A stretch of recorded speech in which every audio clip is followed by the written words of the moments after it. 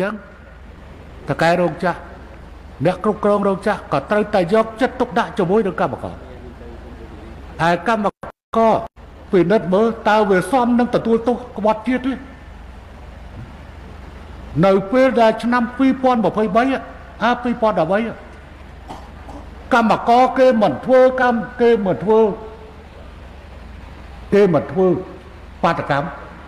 ឯងទៅទម្លាយទ្វារកម្មករឲ្យចេញមកធ្វើបាតកម្ម រូបភាពមានមានអញ្ចឹងទេអ្នកឯងមិនអាចមិនទទួលខុសទៅទៅលើរឿងរ៉ាវទាំងឡាយដែលបានកើតទេរាប់តែការស្លាប់នៅផ្លូវវែងស្រេងម៉ែអាណាធ្វើបាតកម្មមក3ភ្លឺសួរមើលសួរហូវ៉ាន់មើលសំឡេងហូវ៉ាន់នៅតាតែចែកនៅប៉ាំងពេលហ្នឹងនោះគឺជាដំណើរនៃការព្រួររំលំនៃការព្រួររំលំ គឺมันអាចអត់អត់បានទេទៅទៅជាប់គុកឥឡូវមិនទៅហើយខ្ញុំបានប្រាប់ហើយមូលហេតុដែលមនុស្សនឹងជាប់គុកដោយសារអ្នកទាំងឡាយស្រឡាញ់អ្នកទាំងនោះពេកស្រឡាញ់អ្នករត់ជត់ពេកគេកំពុងស្រាវជ្រាវមនុស្សនឹងគប់គិតជាមួយបរទេសបរទេសនាំព្រះសួរសុកទុកហើសួរទៅរួចហើយនាំមនុស្សនឹងចូលទៅតាមស្ថានទូត លោកឯងចាប់ដៃជន់ជើងខ្ញុំរឿងអីខ្ញុំទៅទុកចិត្តលោកឯងខ្ញុំមិនលើកលែងទោសឲ្យមនុស្សហ្នឹងដោយសារខ្ញុំអត់ទុកចិត្តបរទេសដែលមានបំរុងបំលាញខ្ញុំខ្ញុំធ្វើអីខ្ញុំម៉ោងនេះធ្វើអីខ្ញុំខ្ញុំមិននិយាយឌឺឲ្យណែឯងទេក៏ប៉ុន្តែចាប់ពីម៉ោងនេះទៅឲ្យសារទៅណែឯងអ្នកណាក៏ដោយដែលមានអន្តរាគមរបស់បរទេសជាប់គុកឲ្យឲ្យគ្រប់ថ្ងៃ អត់មានការបធូរបថយហើយក៏ដាក់ចូលទៅក្នុងបញ្ជី ការបធូរបថយនឹងលើកលែងទោសឲ្យសោះហើយតែមានបរទេសលោកដាច់ដើម្បីយើងទប់ស្កាត់អាការជ្រៀតជ្រែកពីបរទេសចូលស្រុកខ្មែរបើតែនឹងជាសញ្ជាតិមានសញ្ជាតិពីរឥឡូវពេលដែលមកកម្ពុជាត្រូវអនុវត្តតាមច្បាប់របស់ខ្មែរមិនមែនតាមច្បាប់ របស់បរទេសទេខ្ញុំគិតថាមិត្តបរទេសទាំងឡាយដកពិសោធន៍បានហើយថ្ងៃក្រោយរៀងចាព្រោះឥឡូវការចេះស្ដែងឥឡូវការចេះស្ដែងអប្សរាក្បាលតងោលយកទៅដាក់គុកនៅព្រះវិហារហើយថ្ងៃមុននោះគេទៅសួរសុកទុកគេបញ្ជូនសារចេញមកចង់ធ្វើកោតកម្មទៀតនាងឯងធ្វើកោតកម្មអត់អាហារចង់ងាប់ចង់ស្អីក៏ទៅ តាមចិត្តខ្លួនឯងនឹងទៅបញ្ជូនសារចេញមកយកយកបានសារនោះតាខ្ញុំបានមើលសារនោះដែរតាសារហ្នឹងក្រៃពួកអនុរៈគឺរក្សាទុកដកហូតទុកគេចង់ធ្វើកោតកម្មទៀតអើបើវាចង់អត់បាយឲ្យអត់ទៅណាវាមិនមែនពោះរបស់យើងណាអឺមុននោះម៉ែអើយ វាមិនដែលម៉ែអាណាកោតងោលហើយលេងពាក់អប្សរាដើរតាមផ្លូវទៀតអាហ្នឹងបើខ្ញុំហៅអប្សរាក្បាលតកោមិនតន់ដល់ម៉ោងទេនាងដល់ម៉ោងវាយខ្នោះគ្រប់គ្មានបរទេសណាមកជួយនាងឯងកើតទេកុំចាត់ទុកថាអីសំណុំរឿងរសើបវាប៉ះពាល់ជាមួយប្រទេសនេះប្រទេសនោះអត់ទេជួនជាតិខ្មែរតាណាខ្ញុំអត់មានដាក់ទោសទោះបីបរទេសមកធ្វើកំហុសនៅស្រុកខ្មែរក៏ខ្មែរមានសិទ្ធិកាត់ទោស ដាក់គុកនៅស្រុកខ្មែរដែរនិយាយគ្រាច្បាស់ចឹងបកត្រឡប់មកវិញយើងទាំងអស់គ្នាត្រូវរៀបចំធ្វើម៉េចប្រទេសរបស់យើងការពិតគ្រឿងញៀននេះគឺថាប្រក្រាបប្រទេសរបស់យើងមិនមែនជាប្រទេសផលិតគ្រឿងញៀនទេក៏ប៉ុន្តែគ្រឿងញៀនរុលចូលក្នុងប្រទេសរបស់យើងខ្លាំងមែនទែន ដែលហៅថាប្រក្រាបបានច្រើនមូលហេតុវាបានច្រើនដោយសារតែវាមានអាច្រើនហ្នឹងវាមានច្រើនបានយើងប្រក្រាបបានច្រើនកុំថាយល់ថាប្រក្រាបបានច្រើនគឺជាគុណសម្បត្តិមិនមែនទេ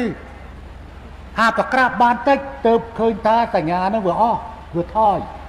ដល់ទៅប្រក្រាបបានច្រើនអសញ្ញាហ្នឹងវាវាឡើងទៅវិញវាឡើងទៅវិញអញ្ចឹងទេឥឡូវបើវាកើតនៅកន្លែងណាសុំកុំឲ្យកើតនៅក្នុងកន្លែងរោងចក្រ កុំឲ្យមានបងតូចបងធំហើយត្រូវរកវិធីដោះស្រាយចំនួននេះនេះដោះស្រាយចំនួននេះនេះឲ្យបានកុំចិញ្ចឹមតំដោះអញ្ចឹងត្រូវយកចិត្តទុកដាក់កន្លែងទីតាំងរោងចក្រនៅកន្លែងណាកន្លែងនោះទៅយកវិធានការទប់ស្កាត់កុំឲ្យចំនួនវិរិយគ្រាដាកុំផ្អែកតែលើមន្ទីរការងារកុំផ្អែកតែលើ ក្រសួងការងារអាជ្ញាធរនៅគ្រប់ទីកន្លែងទាំងអស់កម្រិតថ្នាក់ខណ្ឌថ្នាក់ខេត្តថ្នាក់រាជធានីដោះស្រាយហើយឲ្យប្រញាប់ប្រញាល់កុំអូសបន្លាកុំអូសបន្លាខ្ញុំគិតថាយើងអាចធ្វើបានយើងអាចធ្វើបានជាមួយនឹងផលប្រយោជន៍ពិតពិតដែលយើងបាននឹងកំពុងទទួលយើងបាននឹងកំពុងទទួលហើយ ដើម្បីរក្សាអីដែលយើងបាននឹងកំពុងទទួលបានអ្វីដែលសំខាន់លើសពីនេះទៅទៀតគឺរួមគ្នារក្សាសន្តិភាពការរក្សាសន្តិភាពនោះហើយដែលយើងមានឱកាសតាក់ទាញវិនិយោគឲ្យចូលមកក្នុងប្រទេសកម្ពុជាមកក្នុងប្រទេសកម្ពុជាដែលមកដល់ពេលនេះទំហំនៃការនាំចេញរបស់យើងទៅកាន់ក្រៅប្រទេស ឆ្នាំ2022គឺមានទំហំរហូតទៅដល់29,000លានហើយបើគិតទាំងទ្វេទិសវា52,000លានរវាងតាទាំងណោបចេញណោបចូលអញ្ចឹងយើងមានអធិរាជអំពីការណោបចេញការណោបចេញយើងត្រូវខិតខំកម្ពុជានៅមានលទ្ធភាពច្រើនណាស់ ដើម្បីតេទៀងវិនិយោគមកកាន់កម្ពុជាជាមួយនឹងការកាត់ខំកសាងសមត្ថភាពកសាងហេដ្ឋារចនាសម្ព័ន្ធទាំងរឹងទាំងទុតរឹងរួមមានផ្លូវដែររួមមានកំពង់ផែមានពលានយន្តហោះណាមានអគិសនីណាមានអ្វីផ្សេងទៀតទឹកអីច្រើនដើម្បីពុតគុកសម្រាប់ការវិនិយោគតាក់ទាញវិនិយោគតែទុន ផ្នែកច្បាប់លិខិតបទកថាគតិយុត្តជាមួយនឹងការបដិបដាលធនធានមនុស្សសម្រាប់ជំនាញព្រោះបើយើងនិយាយដូចជាជប៉ុនជាដើមគាត់មកស្រុកយើងគាត់សួរតែពីរចំណុចជាសំខាន់ទី1គាត់សួរធនធានមនុស្សតើមានលទ្ធភាពគុតគង់ពលកម្មជំនាញឲ្យគាត់ឬអត់នឹងសំណួរទី1ដល់សំណួរទី2តម្លៃអគិសនីអញ្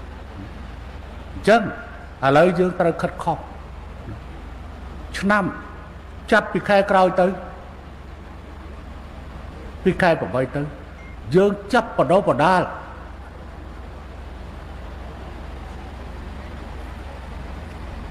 ជំនាញសម្រាប់អ្នកដែលត្រូវទទួលការបដិបដាលបានលៀន5សែននេះ ក្នុងរយៈពេល5ឆ្នាំជាមួយនឹងការដោះស្រាយការងារក៏មានទំហំប៉ុនគឺ